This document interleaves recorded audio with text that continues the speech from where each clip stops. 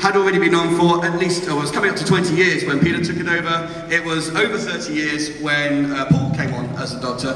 So the first question I, I wanted to come to you was, before you were the Doctor, how much about the show did you know? How much of the show were you aware of? Were you fans? Did you hate it? How did it go? And we'll start with five. Um, I, well, I was the first Doctor, I think, I think who, who, who, played the Doctor who actually grew up, grew up, watching the show. So I remember the very first episode and um, remember it being repeated the following week because of the, uh, uh, the Kennedy assassination the day before it started. And so, yeah, I have very, very vivid memories of, um, of Doctor Who. And it was a very uh, special moment, strange moment, really, when I was actually off at the park. As, as an actor, you know, when you leave drama school, you think, oh, I'd love to get a part in Doctor Who. But actually, then you find yourself actually being offered the Doctor, and it's very bizarre. But yeah, no, I knew all about the series. I loved it.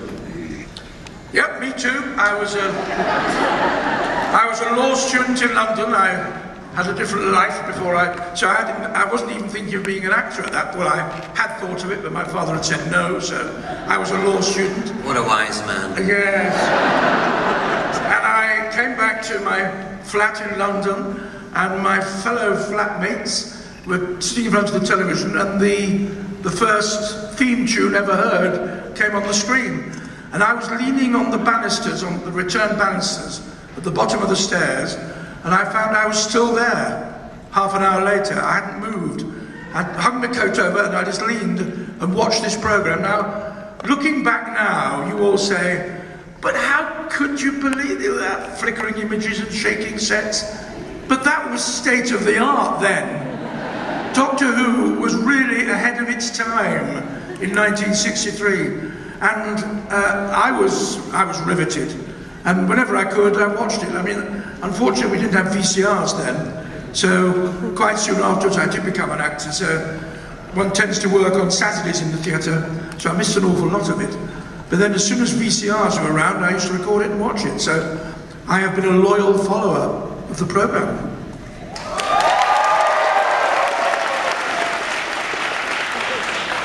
I lived in abject poverty in London. In a shoebox on the M6? Yes. We didn't have a television.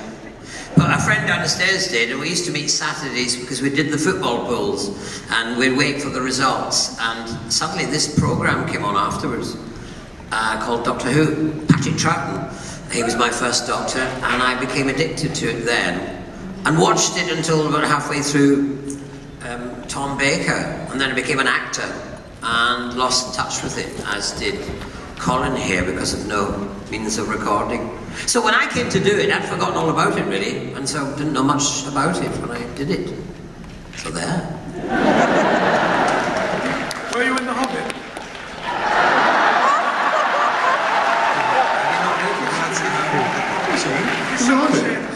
I you, grown that beard so you could get into the hobby. Bitch. Who bitching? Talk with it. Who I think I've worked out why they've not been allowed on stage together in America for 25 years. like repelling magnets. so, Paul, um, obviously Sylvester um, I was saying his one and moving on to yourself now. Well, I'm not as old as these guys. At least, I mean, they're younger in spirit than I You went to Hollywood for three weeks and came back younger.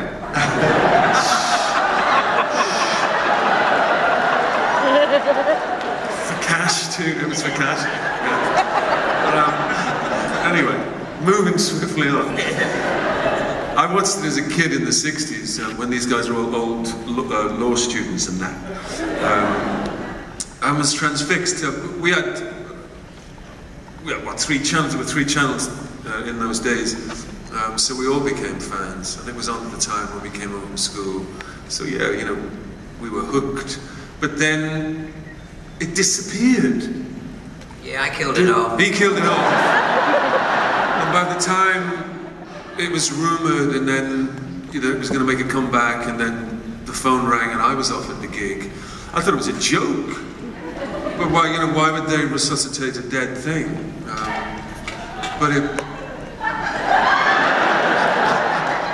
It's a way to talk about. You're having way too much fun over there. The, the necro corner over there. Um, but lo and behold, that's exactly what happened. Um, and that's why we're all sitting here today, talking garbage. so, obviously, all of you had a knowledge of Doctor Who.